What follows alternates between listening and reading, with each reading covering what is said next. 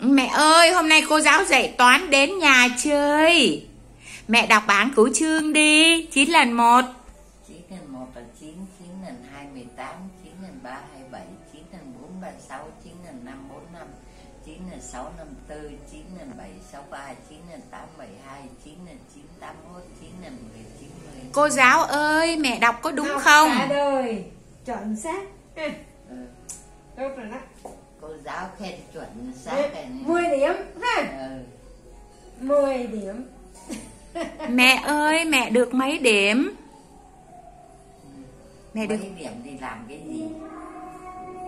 Dạ ta nuôi chú mày như vậy là là là là 10 điểm phải không? Ừ. Trăm điểm luôn đấy chứ 10 điểm nữa à Mẹ ơi, hôm nay cô giáo đến nhà mình có vui không? Vui chứ. Hôm nay cô giáo người đồng hương. Người đồng hương tỉnh gì? Tỉnh tỉnh Thái Bình. Cô giáo đến nhà chơi đó. Ừ. Vui không? Vui. Rồi, bye bye nha. Ừ. Mẹ bye bye cô giáo đi. Bye bye.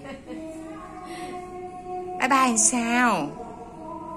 Bye bye làm sao? Bye bye gì? À, Bye bye làm sao? See you again.